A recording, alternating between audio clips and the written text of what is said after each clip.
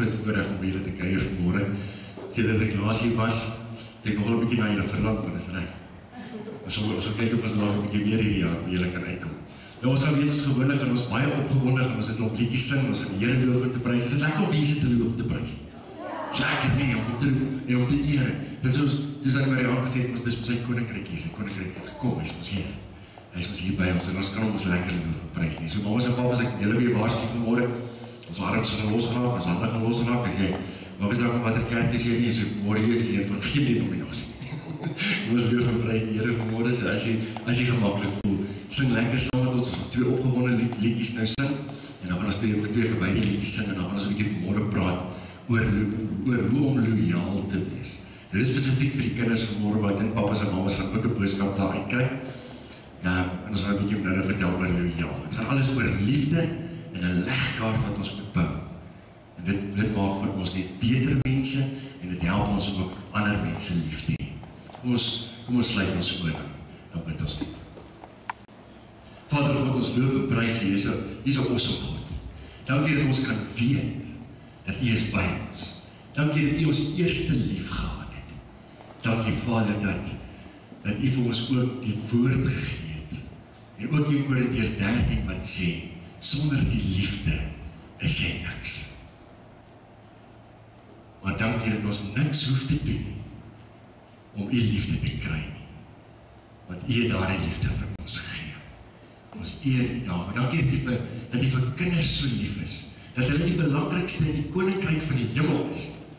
Dankie dat julle nader geroep het toe jy op aarde was en vir die disippels gesê het, as jy nie soos 'n kindertjie word nie, sal jy nie in die koninkryk van die hemel ingaan.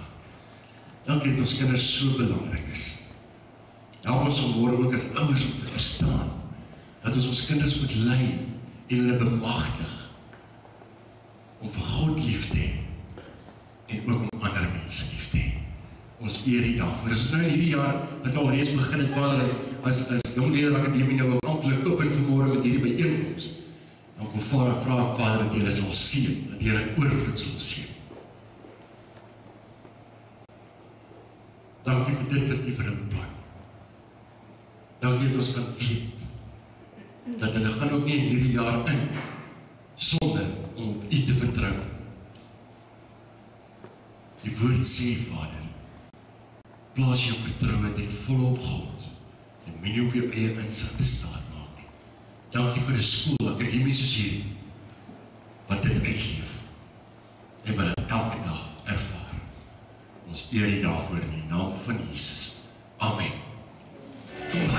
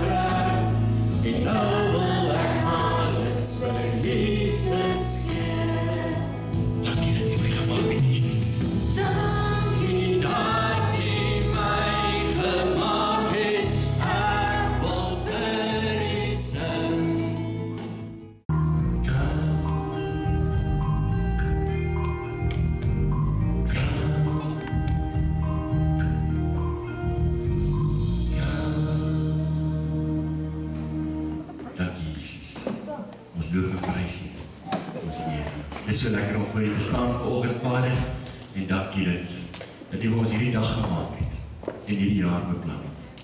Ons loof U daarvoor in die naam van Jesus. Amen. julle oor hoe om lojaal te wees hierdie jaar. Wil julle graag lojale jong leerders wees? Ja, nou 'n lojale jong leerder. As jy jou skole aan skoolklere aangetrek het, nie, dan kan jy soms sien jy's 'n jong leerder akademiker. Nee. Maar as jy as jy jou gewone klere aan het en jy het die donker bril in jou daaks op soos daai ouetjies daar en hulle loop in die en loop in die winkels rond of dan op 'n speelgrond of iewers of op 'n speelparkie, dan kan mense sien jy's 'n jong leerder akademie volgens jou klere. So dan moet iets anders wees so mense kan sien jy's 'n jong leerder akademie, ehm, 'n um, loyale kind en ook dat jy 'n kind van Jesus is. Nou kom ons kyk gou dan. Wat beteken dit om loyaal te wees? Dit beteken jy staan op vir die waarheid. As iemand iets sleg sê van die skool, wat gaan jy hom sê? Hm? Ons by skool uit, goeie skool. Of iemand sleg sê van Jesus sê, "Hey, maar Jesus is 'n goeie God." So dis maar as jy loyaal is teen iemand, dan staan jy op vir die waarheid waarin jy glo. Goed, so die eienskappe van 'n jong loyale leerder is dat ons 'n paar dinge moet doen. En dit is binne 'n hart van liefde alles ingevat. So kom ons kyk. Die eerste een is geduld. En dis 'n legkaart wat ons bou met die hart vol maak. Meegevoel, vriendelikheid, nederigheid, selfbeheersing, eerlikheid, vergifnis en respek. As ons al daai dinge het, dan is ons lojaal. Dan is ons 'n loyale jong leerder. Dan is ons lojaal teenoor die skool, teenoor ons maats, teenoor ons ouers, teenoor die onderwysers en teenoor God en oor Jesus. Dan is ons lojaal. Maar waar kom hierdie eienskappe vandaan? Dit staan in 1 Korintiërs 13 vers 1 tot 7. Ek gaan saam met julle daar lees, dit wys vir jou my skerm. Alsou ek die tale van mense en engele spreek en ek het nie die liefde nie, dan het ek 'n klinkende metaal of 'n leidende simbool geword. En alsou ek die gawe van profesie hê en al die geheimenisse weet en al die kennis en alsou ek al die geloof hê sodat ek berge kon versit en ek het nie die liefde nie, dan is ek niks. En alsou ek my goed uitdeel en alsou ek my liggaam oorgee om verbrand te word en het nie die liefde dan sou dit my niks baat nie. Die liefde is lankmoedig en vriendelik. Die liefde is nie jaloers nie. Die liefde praat nie groot nie. En is nie opgeblaas nie. Handel nie onwegvoeglik nie en soek nie sy eie belang nie. Word nie verbitter nie. Reken nie kwaad nie toe nie, maar is bly saam met die waarheid. Dit bedek alles, glo alles, hoop alles en verdra alles.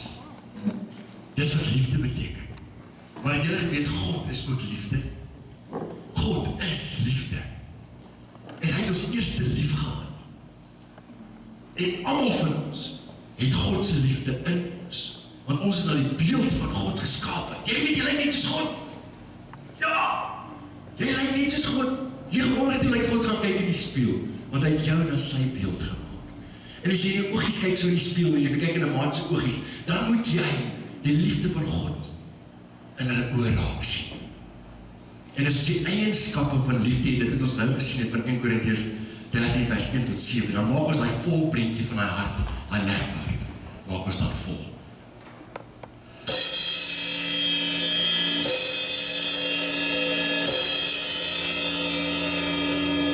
Klink dit nou 'n klomp geraas? Ja, dis wat die Bybel van praat, 'n lydende paal. As ons nie die liefde het nie, dan alles wat ons doen, as ons nie selfbeheersing het nie, as ons nie nederig is nie, as ons nie respek het nie, dan klink ons so. Maar God het ons 'n wonderlike dirigent gegee. Sy naam is Jesus. Hy het vir ons die Bybel in 1 Korintiërs 13 vir ons 'n wonderlike wonderlike bladstuk, blad musiekstuk gegee wat soos 'n mooi simfonie orkes klink. Dis ek respek vir iemand anders en ek is nederig en ek het nie gevoel vir mense dat klink dit soos 'n simfonie. Dit klink ons nou baie beter as my leidende simbool. En dit is wat 1 Korintiërs 13 van praat. Hy lê ons moet soos 'n simfonie klink. Maar wat is die goue reël? Matteus 7 vers Matteus 7 vers 12 sê: Doen aan ander wat jy aan jouself gedoen wil hê. Dit is hoe Jesus geleef het. Hy hier op aarde was, hy ons kom leer van die eienskappe van hoe om 'n goeie kind te wees van God. So om 'n loyale jong leerder te te wees te lyk moet ons ander mense behandel soos wat ons onsself behandel wil hê. Papas en mamas, dis die moeilikste konsep om ons kinders te kinders te leer. Weet, ek is ook 'n pappa. Dis die moeilikste ding. Hoe behandel jy ander mense? Soos wat jy wil hê jy self behandel moet word. Ons gaan nou gou vinnig daarna kyk. 'n Jong jong leerder het geduld. Dit beteken jy raak nie jy raak nie opgewonde as jy nie jou huiswerk klaar kry nie. Nie sit nou met jou huiswerk? Jy jy jy staan jy staan rustig in 'n ry en en en, en wag vir die snoepie. Of daar by die spar met die met die met jou trolley. Mamma. Papa, as jy net verkeer ry met met taxi wat so voor jou ry. Die verkeer gaan nie vinnig genoeg nie. Yes, ons wil lyk. As God wil hê ons moet lyk, ons moet geduld hê. Eerlik wees. Is om jou huiswerk te doen en dit nie af te skryf nie. Om dit self te doen. Dis eerlikheid. Dis as as as mamma en pappa jou onderwyseres vir jou vra, het jy het, is dit was dit jy wat wat wat wat wat die koekie uit die uit die, die kas gesteel het by die by die, by die huis of gevat het sommer om mamma te vra, ja mamma, dis ek, dit was nie my boetie of my sussie. Of was was dit jy wat geraas het en gepraat het in die klas? Ja, was ek, is eerlik ek gaan ek gaan nie jok nie, ek is eerlik. Want dit is beter om eerlik te wees. Want die Bybel wil hê ons moet eerlik wees.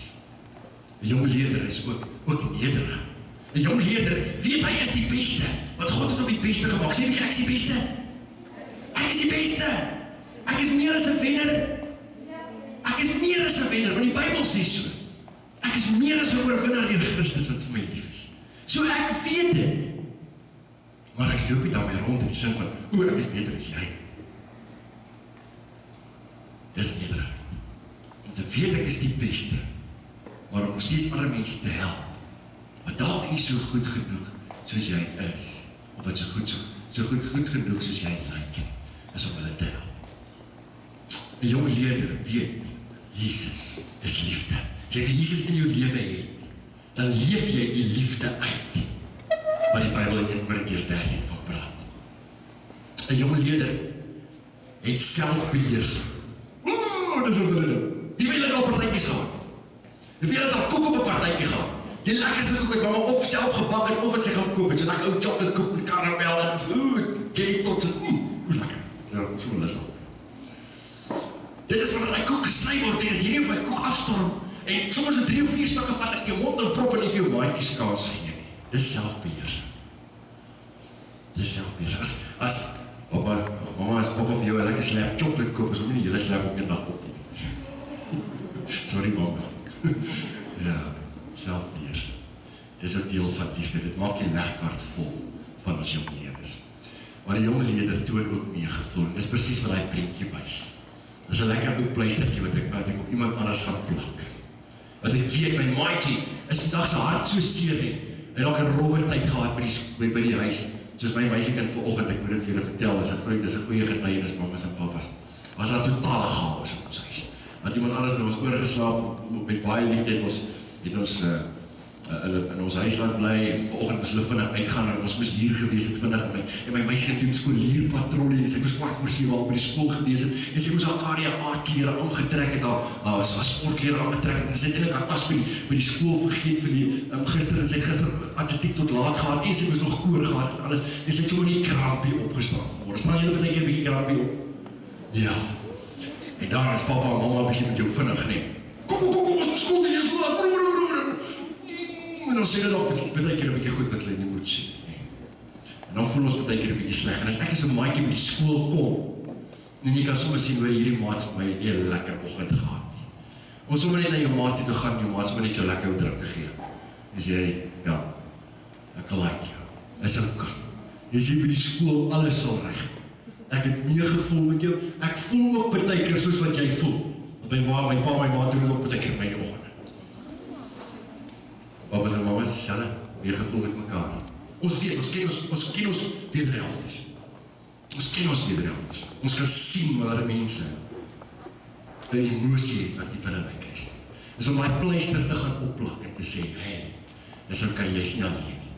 is vandag saam met jou. Jesus is lief vir jou. Sê bietjie vir jou maat, Jesus is lief vir jou. Jy is die beste. Jy is die wonderlikste. En dan 'n ander baie belangrike ding is vergifnis maat. Maak deel van 'n hart se legkaart uit. Dan maak jy al gestamp. En dalk 'n bietjie so skei klop gegee. Of jy dalk 'n lelike woord vir jou gesê. Jou hart op baie keer 'n bietjie seer gewees. Jou hart op baie keer 'n bietjie seer gewees.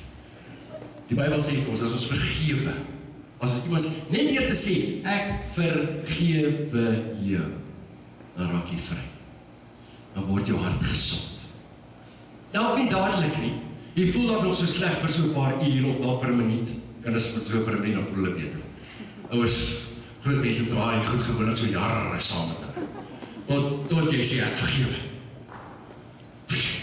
Dan raak jy vry.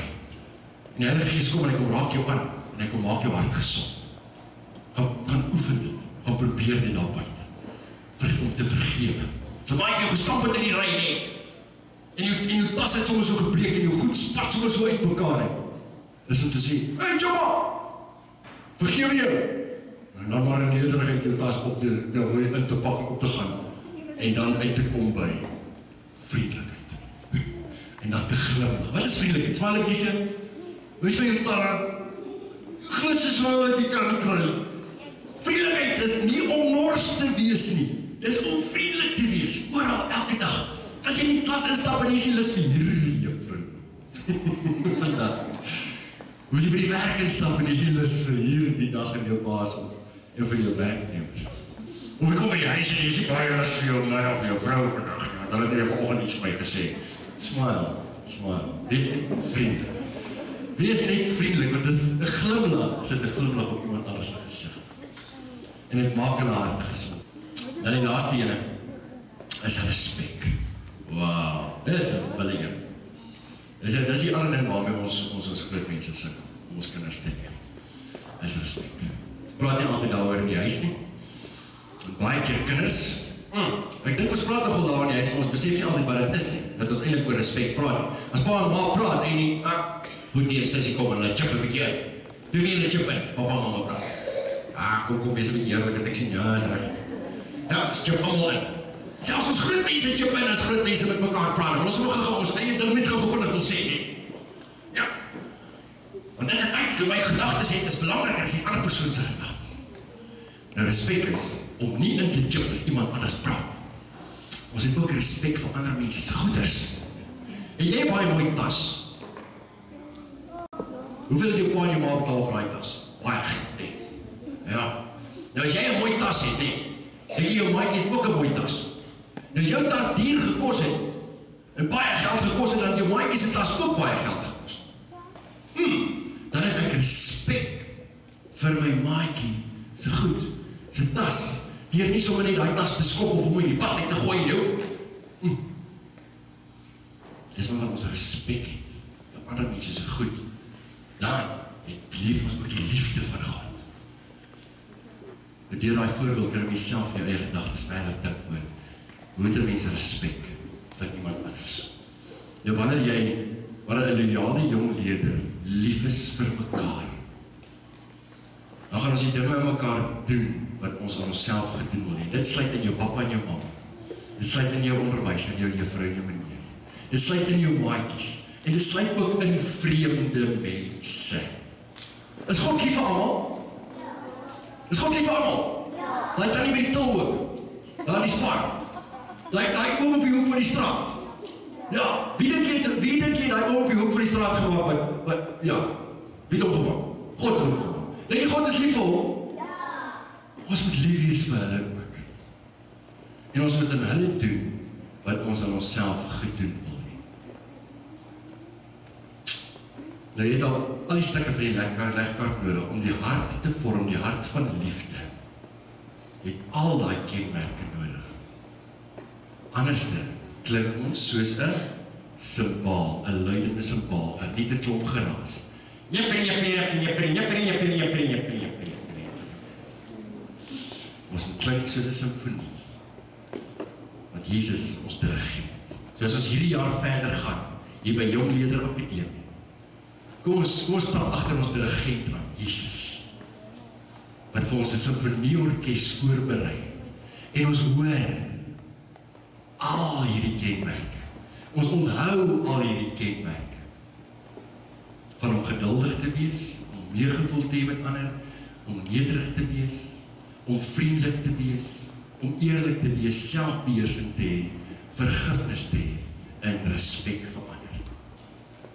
Die goue reël elke dag is doen aan iemand anders. Sê bietjie, ek wil aan iemand anders doen wat ek aan myself gedoen wil hê. Want dan is ek lief vir God en is ek lief vir mense. Ek het julle uitdaging vanmôre.